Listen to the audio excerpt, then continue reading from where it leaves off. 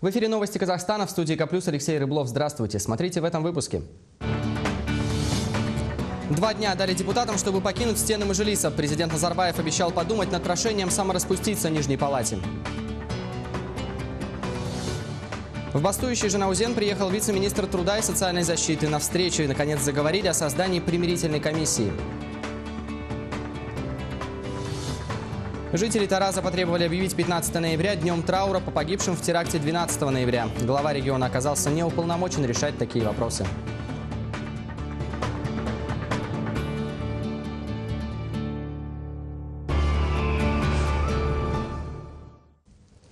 Защита Мухтара Джакишева не доверяет всему составу Сыроаркинского суда Астаны. Об этом адвокат экс-главы Казатомпрома Палада Типсаева заявила на предварительных слушаниях по новому уголовному делу. В связи с тем, что мы сомневаемся, что э, дело будет рассматриваться объективно и что все решения будут объективными, поскольку этот же суд ранее выносил обвинительный приговор. Напомню, Мухтар Джакишев уже более двух с половиной лет отбывает наказание по другому уголовному делу в одной из колоний строгого режима. За присвоение чужого имущества и получение взятки в крупном размере в марте 2009 года этот же суд Астаны приговорил его к 14 годам лишения свободы. Новое дело засекречено, его более двух лет расследовал Комитет нацбезопасности и только месяц назад передал в прокуратуру. В чем на этот раз обвиняется экс-президент Казатомпрома, не знают ни его адвокат, ни супруга осужденного. Ранее сообщалось, что Мухтару Джакишеву инкриминирует мошенничество в крупном размере и присвоение веренного имущества. Впрочем, ни сам экс-руководитель нацкомпании, ни его близкие не согласны с дополнительными обвинениями. Супруга осужденного по-прежнему беспокоит состояние здоровья мужа. Добавлю, в отводе стране защиты было отказано. Здоровье у него все так же, то есть оно без изменений. То есть периодически у него поднимается давление. Вот я сама это не раз видела.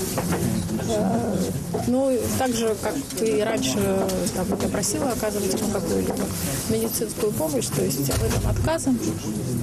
И, в общем-то, все продолжается на таком же уровне, как было дальше.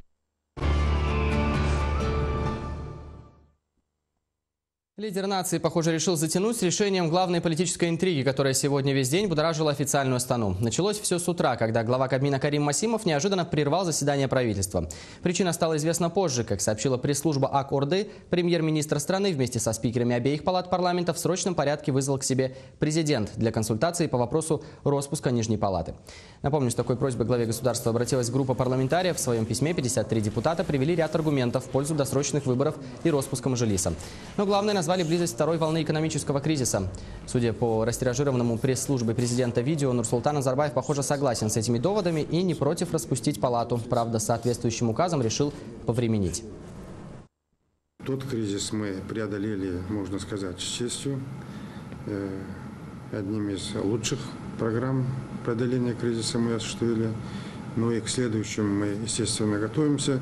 И если в следующем году это случится, Будем надеяться, что не случится, но если случится, и если это сойдет э, вместе с электоральной кампанией, то осложнится работа э, руководства страны, правительства и регионов по этому вопросу. Депутаты учитывают э, этот фактор тоже. Так? И обоснования все, они естественные и нормальные. Четвертый по счету распуск в законодательном органе может обогнать по количеству вмешательств главный закон страны. Как известно, в Конституцию вносили поправки трижды в 98, 2007 и 2001 годах. После изменений в 2007 из нее исчезла одна из статей, как раз о том, при каких условиях потенциально строптивых депутатов можно распустить. Конституция Республики Казахстан предусматривает случаи прекращения полномочий парламента. Конституционные и обычные законы не могут предусматривать другие случаи прекращения полномочий парламента. Право распуска парламента предоставляется только президенту. Свое право президент осуществляет в следующих случаях. Выражение парламентом вотума недоверия правительству, двукратного отказа парламента дать согласие на назначение премьер-министра, политического кризиса в результате непреодолимых разногласий между палатами парламента или парламентом и другими ветвями государства государственной власти. В кризисные моменты в демократических странах ответственность возлагают на правительство, а в постсоветских разгоняют парламент, говорит известный правозащитник Евгений Жовтис. Идею о самороспуске Мажилиса он считает политтехнологическим шагом и на перестройку политического поля особенно не влияющим. Эксперт напоминает, согласно последней версии Конституции, причин для распуска уже нет, оставлены лишь ограничения. Те немногие случаи, когда страну нельзя лишать законодательного органа. Конституция содержит же случаи, когда нельзя распускать парламент. Там нельзя распускать парламент менее чем через 6 месяцев после выборов, нельзя распускать парламент раньше, чем через год после предыдущего распуска, и там, по-моему, при чрезвычайного или военного положения. Поскольку этих всех трех э, случаев нет, то, соответственно, распуск парламента абсолютно находится в компетенции президента. То есть он должен проконсультироваться с председателями палат и с премьер-министром, но решение принимает президент. Между тем, намеченное на среду 16 ноября заседание Мажилиса отменено, сообщает пресс-служба аппарата Нижней палаты парламента. Депутат Бахыт Сыздыкова в своем твиттере объясняет, тому причиной подписания указа о распуске депутатов. В отсутствии официального оповещения эту новость журналисты и общественность узнали от Мажилис Вумен. Сыздыкова была единственным источником информации из законодательного органа. Чирикала целый день. Ну, реке, кстати, сегодня косу расплела и волосы распустила, и парламент распустили. Нам сказали, что депутатам дадут два дня на то, чтобы вещи собрать и покинуть кабинеты. Говорят, указ президента только что о распуске вышел.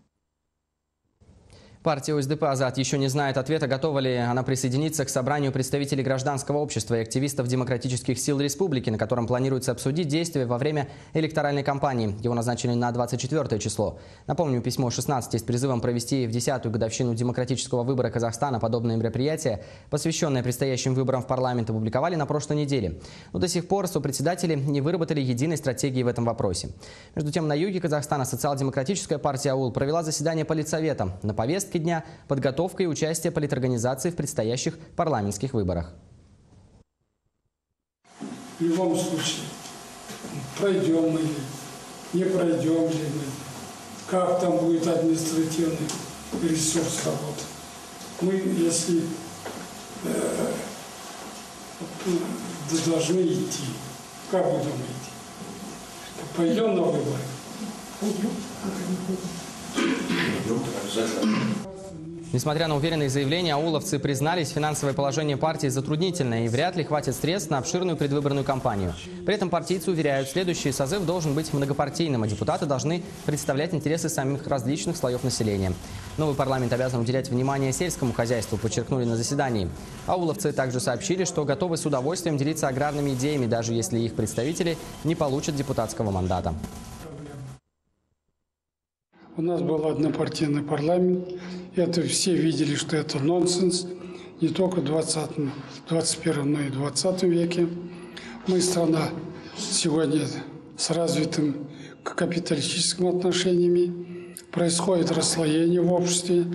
И по имуществу расслоение есть и богатые, и бедные. И, к сожалению, есть расслоение межнациональное. И расслоение есть внутриэтнические. Поэтому сегодня власти как никогда надо эти противоречия знать. О, стих... о смехотворном парламенте и страшных терактах гражданские активисты слагают стихи. Грустной иронией и жестким сарказмом отдает творчество Галыма Агилеева. Размещенный накануне в интернете ролик посмотрели уже около 150 пользователей. Получается, что сама власть за все эти годы, она породила вот то, что есть. И ссылки на то, что нужно проводить сейчас выборы, а не потом, в силу того, что вот какие-то события, так получается, каждая власть может сама инспирировать эти события, а потом оправдывать свои действия тем, что вот нужно срочно провести. Именно сейчас, а не по закону. На творение поэта подтолкнула жизнь. За перо он не брался уже много лет. Каждое из стихотворений писал буквально на одном дыхании. Еще немного времени потребовалось на техническую обработку материала. В строчках «Злободневность казахстанских будней», «Забастовки нефтяников на западе Казахстана», «Безработица и теракты». Общественник рассуждает, за 20 лет независимости он ни разу не наблюдал честных прозрачных выборов, которыми бы могла гордиться страна. Это, среди прочего, и порождает упаднические настроения среди населения. На его взгляд, открытые выборы, которые власть провела бы в срок и по закону, могли бы воодушевить казахстанцев, уберечь людей от радикальных действий. В стране выборы опять. Будем куклы выбирать. Президентских поиграли, весь народ тогда согнали. И набрал тогда бастык. Культы личности достиг. Руководство все рисует, а народ теперь бастует. Позабыли про народ. Разве мы из грязи в князи, интеллекта узкий лоб, Почему тогда родная моя родина не жнет? не работает, не пашет, вечерами не поет. Сердце родное сжимает, а вокруг опять тоска. Но ведь нету производства, только партии пока. Мы идем за Нуратаром, за Акжолом в темный путь. Просто бегаем по кругу, продлевая эту жуть. Конкуренции не видно, кандидаты хоть умри. Всем ведь все давно понятно. Лидер нации, свети. И поют марионетки, и толдычат избирком. Сто процентов нарисуйте. Мы в болоте под дерьмом. Никого не выбираем, песен светлых не поем. Снова сопельку пускаем и тихонечко бредем. Как сообщается по некоторым данным, выборы назначили на 15 января. Это стало только что известно. Ну а Глам Могилеев не раз был в бастующем Жанаузене и оказывал посильную консультационную помощь бастующим нефтяникам. накануне в город приехал вице-министр труда и социальной защиты Казахстана Баужан Нурумбетов. Он встретился с нефтяниками Узен Мунайгазом. По его словам, он приехал в город обсудить социальные проблемы Жанаузена. Первая встреча прошла в понедельник. На ней вице-министр предлагал новые рабочие места, но нефтяники категорически отказали ему. Сегодня на встречу пришел заместитель областного Акима Мангильде Айткулов. Также участвовали сотрудники прокуратуры. На встречу юрист бастующих нефтяников Каражанбас Мунай предложил создать примирительную комиссию. По словам Александра Пястовала, чтобы решить дилемму по поводу работы, нужно для начала, чтобы работодатели и работники пришли в суд и заключили между собой мировое соглашение. Только после этого примирительная комиссия может начать свою работу. При этом до начала работы комиссии работодатель должен снова принять на работу незаконно уволенных и выплачивать требуемую зарплату. Нефтяники у Акима, у Акима области и вице-министра труда первую очередь просили узаконить согласование и на переговоры провести работодателя.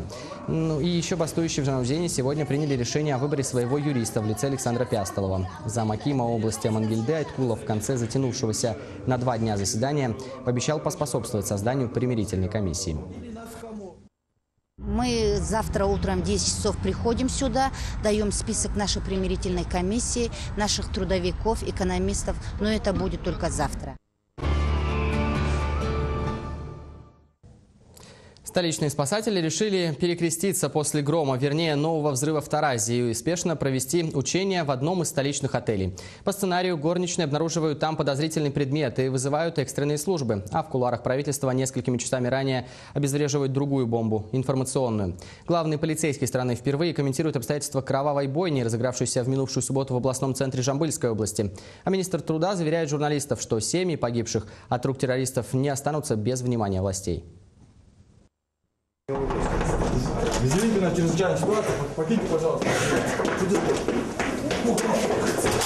Подозрительный чемоданчик стал причиной эвакуации обитателей одного из столичных отелей. Экстренные службы прибывают по первому звонку, оцепляют место ЧП и активно исследуют взрывное устройство. Правда, в план учений авторы не прописали, кто, где и когда должен обезвредить ложную бомбу. Представители охранной службы отеля не скрывают, тревогу восприняли не как учебную, и они действовали по установке силовиков. В связи с последними событиями в, нашем, в нашей государстве э, вполне возможно, но мы к этому готовимся к, этому, к этим событиям. Постоянно мы личный состав тренируем, постоянно проводим занятия, обращаем внимание на наших гостей, которые приходят, кто проживает. Под последними событиями подразумевается кровавая бойня в Таразе, в результате которой от рук смертника погибли семь человек. Сегодня лишь на пятые сутки после ЧП его обстоятельства в кулуарах правительства буквально на ходу комментировал глава МВД, под личным руководством которого, как известно, расследуется громкое дело. Это живой человек, общался где-то, есть вопросы, сейчас разбираемся? Еще раз повторяю вам, разбираемся сейчас. Следствие только началось. Неужели за эти дни вы не смогли установить? Почему есть установлены? Есть вопросы, которые для общественности, а, да, конечно. Мы сейчас работаем над этим вопросом. А его причастность к солдатам халифата рассматривается? Сейчас полностью исследуем все вопросы. Конечно, и эта версия не исключается.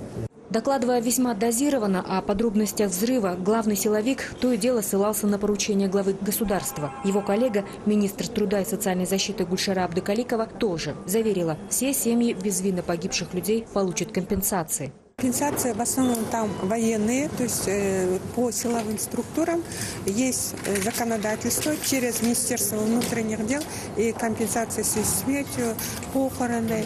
Э, также, если есть несовершеннолетние детям, все это законодательная основа имеется, будут назначены. А еще двое гражданских? А в гражданском тоже мы э, рассмотрим. Тем временем казахстанцы задаются другим вопросом. Почему в стране не объявили национальный траур? Переадресовать его правительственным чиновникам журналисты сегодня не стали. Пометуя, похоже, о том, что накануне на совещании Кабмина здесь не сочли нужным даже выразить соболезнования семьям погибших. Жанна Иманалиева, Сакен Айсенов, Астана, Казахстан. Действия Максута Кариева, который подорвал себя в Таразе и убил семерых человек, противоречат канонам ислама. По словам главного имама Центральной мечети Тараза, это преступление нельзя отнести к джихаду, как его успели окрестить в Генеральной прокуратуре. Священнослужитель уверяет, совершение столь тяжких преступлений, попытка прикрытия их борьбой во имя Аллаха – показатель религиозного невежества. Джихад, если верить словам главного имама, это борьба с неверными, тогда как от рук Кариева погибли мусульмане. Более того, мирные люди. В Коране слово «джихад» встречается 35 раз, лишь в четырех высказываниях речь идет о войне По священной книге джихад это прежде всего духовная борьба с самим собой. Также представитель муфтията усомнился в том, что Кореев советовался с кем-либо из религиозных деятелей. Если бы это произошло, то он бы не оступился с верного пути, утверждает священнослужитель. Впрочем, главный имам допускает, что перед совершением теракта Кореев мог советоваться с представителями сомнительных религиозных группировок.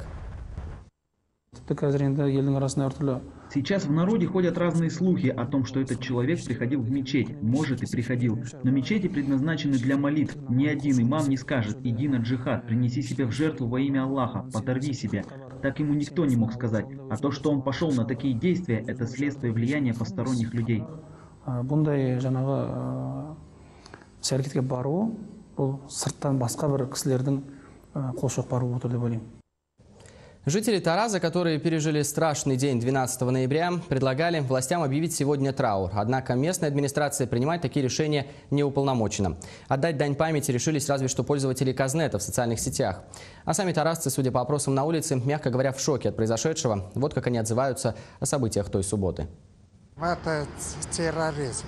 И, конечно, надо внимательнее относиться ко всяким вот этим религиозным всяким объединением. Уже страшно за свою жизнь становится. Ну, думаю, террор. Все-таки везде об этом говорят. Вчера буквально все пустые магазины были, потому что люди напуганы. Напуганы. И никто не верит, что это был один человек. Это однозначно. Очень неприятно осознавать, что ты находишься в зоне беспокойственного ну, что ли, социального окружения. После взрыва можно сказать, что, конечно, беспокойство есть, конечно, неприятно. Понятно, что это трагедия, что это очень-очень плохо. Ну, переживания, конечно, есть.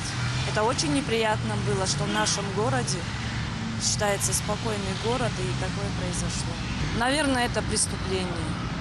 Причем очень жестокое преступление.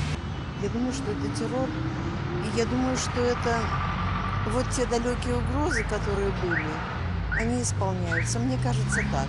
Наверное, обычное преступление, какой-то придурок, да и все.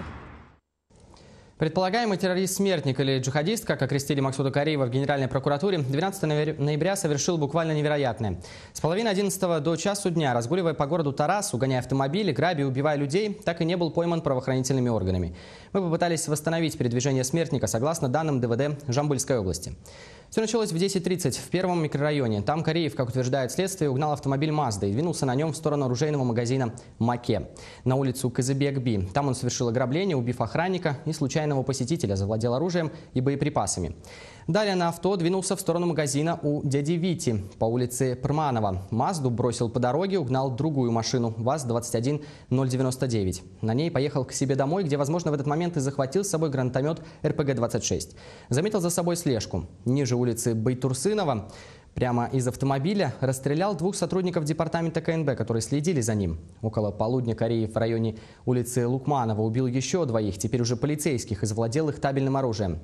Далее преступник двинулся в центр города к зданию ДКНБ, выстрелив дважды, один раз из гранатомета по департаменту чекистов, спустился до, до драмтеатра, где бросил автомобиль и пошел пешком. В 12.45 его начал преследовать конный патруль. Кариев вновь выстрелил и ранил полицейского его лошадь. В час дня на пересечении улиц Абая Казыбек-Би Кариев начала преследовать дорожная полиция. Завязалась перестрелка. Капитан Байтасов набросился на преступника. Тот привел в действие взрывное устройство. Оба скончались на месте. Каким образом одному человеку удалось преодолеть такой путь по городу, совершив столько преступлений, убив людей? Силовики ответ не дают. Сообщают лишь, что действовал Кариев в одиночку. По спецоперации в Таразе можно судить об уровне профессионализма отечественных спецслужб. Теракт должны были пресечь, убежден ветеран афганской войны, президент Союза ветеранов «Боевое братство» Сергей Машевич. По словам эксперта, угрозы религиозного экстремизма существовали и в бытность Советского Союза. Однако тогда силовики умели держать ситуацию под контролем. Другие времена, в общем-то, проблем достаточно много было, да? Но э, такие попытки пресекались заранее. А для чего были предназначены спецслужбы? Для того, чтобы знать, и пресечь попытки теракта, прежде всего. В свое время э, в Комитете государственной безопасности было пятое управление, которое занималось не только диссидентами, как раньше говорили, которых даже в Советском Союзе достаточно мало было, оно как раз занималось и э, религиозными объединениями, и достаточно серьезно. Ветераны афганской войны вновь выступают за принятие документа, который бы защищал их права. Сегодня в Алматы около 30 членов Союза ветеранов Афганистана прошли пешим маршем от парка имени 28 гвардейцев-панфиловцев до офиса партии «Нуратан». Единый статус должен быть, во-первых, э, участник войны. Любой человек с оружием в руках, который будет защищать или защищал интересы Родины, он должен быть, подпадать под этот закон. Он должен уже быть э, защит, э, это, участником войны. К ветеранскому маршу власти отнеслись лояльно и в несанкционированности акции никого не обвинили. В Нуратане, услышав от афганцев упоминание партийной акции «Глаз народа», тут же внесли визит воинов в собственный зачет. Ветеранам же главное, чтобы политическая сила поспособствовала принятию законопроекта. Как сообщил лидер Союза ветеранов Афганистана Мурат Абдуш, э, Абдушкуров закон лоббировался 10 лет. До настоящего времени интернационалисты приравнены к ветеранам Великой Отечественной войны. Но что будет, когда после не последних не останется вовсе, спрашивают афганцы. Их организация разработала свой документ, и сегодняшний марш – это способ донести до будущего лидера парламентской гонки, что в стране нужен закон об участниках локальных войн. В Нуратане демонстрировали всяческую поддержку таким избирателям. Этот вопрос у нас не раз обсуждался. Мы о данном законопроекте вместе с вами обсуждали, и мы поддерживаем. А, для нас эта акция очень важна. Почему? Потому что а, эта акция выполняет роль коммуникационного лифта, который поднимает вот идеи и проблемы с самых низов. Поэтому вам спасибо за то, что вы организованно пришли отстоять вот свою позицию.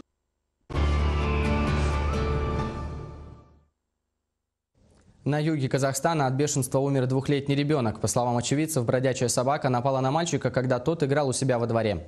По данным ведомства, с укусами лица и шеи мальчик был доставлен в инфекционную больницу Шумкента из села Карабастау Сайрамского района Южно-Казахстанской области 9 ноября. Ребенку был поставлен диагноз бешенства. Вечером 10 числа двухлетний Есен скончался. Это пятый случай с начала года. Девять было в прошлом году. Еженедельно с укусами бродячих, бродячих собак в медпункты Шимкента обращаются в среднем по 100 человек. По словам медиков, медиков главная мера не заразиться бешенством – это вовремя получить вакцину. В случае с двухлетним малышом его не смогли спасти даже при оперативном обращении, так как зона укуса находилась слишком близко к головному мозгу. Была обширная рваная рана в области лица, носогубного треугольника, подбородка, и поэтому Поэтому я думаю, что сосуды носогубного треугольника идут прямо к основанию головного мозга. И этим самым ускорился процесс заражения бешенством. Сегодня в Алмате сотрудники полиции Бастандыкского района задержали членов молодежного клуба «Рух Пентель» при раздаче листовок. В них были приглашения участвовать в заседании дискуссионного клуба. Молодых людей продержали в РУВД в течение трех часов. После отпустили. Сотрудники правоохранительных органов отказались от каких-либо комментариев.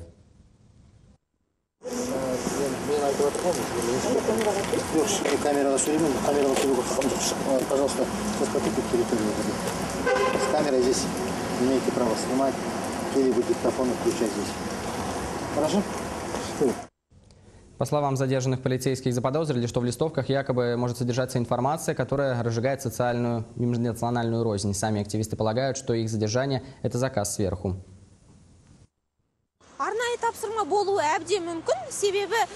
Это может быть заказ. Сотрудник полиции нам сказал, что он должен нас привести в отделение. Если честно, по этой улице, где мы стояли, раздают всякие рекламные листовки. Но мы никогда не слышали, что, что задерживают и проверяют таких людей. В Алматы состоялось первое досудебное слушание по жалобе агентства журналистских расследований «Намыстан» на действия судоисполнителя Бекмурзаева, который участвовал 17 октября в опечатывании офиса редакции. По мнению истца, директор продакшн-студии Лины Ждановой, судебный орган не предоставил пять дней сотрудникам, чтобы подготовиться к переезду. Как мы сообщали, суд приостановил эксплуатацию офиса, потому что входная дверь расположена не так, и вообще он размещен в жилом доме. Руководство агентства журналистских расследований посчитало, что перестраивать помещение вправе только арендатор и расторгло договор. Впрочем, отсутствие нарушителей не явилось аргументом для судоисполнителя. Когда его попросили снять печать, чтобы можно было подписать акт приема передачи, тот отказался. Следующее заседание состоится в Бастандыкском районном суде 7 декабря. Полиция Мангостауской области под разными предлогами отказывается предоставлять журналистам видеопортала «Станки из информацию о ходе э, следствия дела об избиении их коллег. До настоящего времени все попытки взять комментарии в местном полицейском департаменте оканчивались провалом. По словам юриста интернет-портала Натальи Сартбаевой, если так пойдет и дальше, то независимая СМИ будет вынуждена обратиться в МВД республики.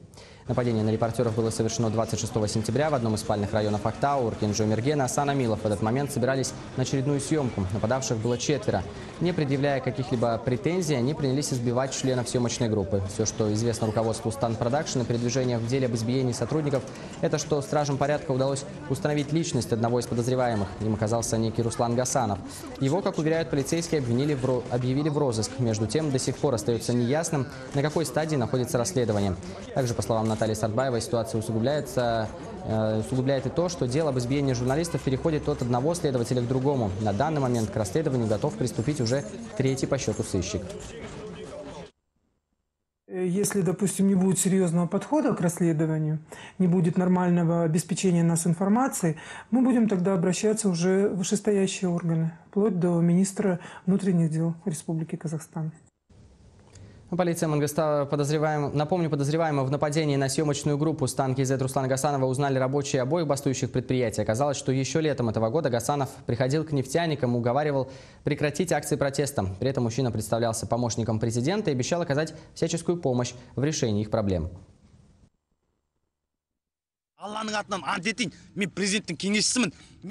Поклялся Богом, сказал, что он советник президента. Пообещал решить все наши проблемы. Обманным образом он забрал все документы и все записи. Представился Гасановым. Если он меня видит, он очень хорошо меня знает. Ты поклялся Богом. Ты должен прийти сюда и ответить за свои слова. Мы только теперь поняли, кто ты такой. В то время я ему поверил. Он обманул меня, сказал, что клянется Аллахом. Охрана президента Приходил парень, сказал, что охрана президента. Звали его Руслан. Он сказал, что он решит все наши проблемы, что нужно выходить на работу и освободить площадь. В последнее время он зачастил. Мы подозреваем, что он следил за Аминовым. Пока это вся информация. Оставайтесь с К+, и будьте в курсе.